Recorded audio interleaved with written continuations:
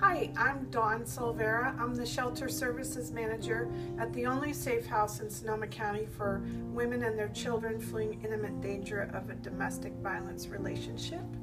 And I am the honored recipient of the gift cards that you all give um, for Soul to Soul, Payless Shoe Source cards.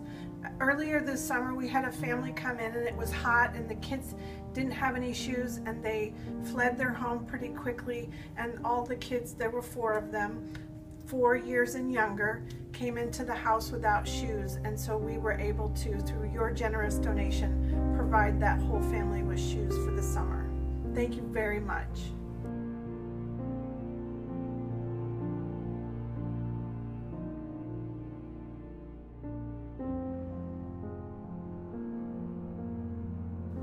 Thank you, Pat, and the Center for Spiritual Living for our gift cards for the kids, Payless Shoe Source. Our kids are just beginning school, and every child will need a new pair of shoes. And our kids play so rough, they go through shoes very quickly. So, thank you again. You guys are awesome.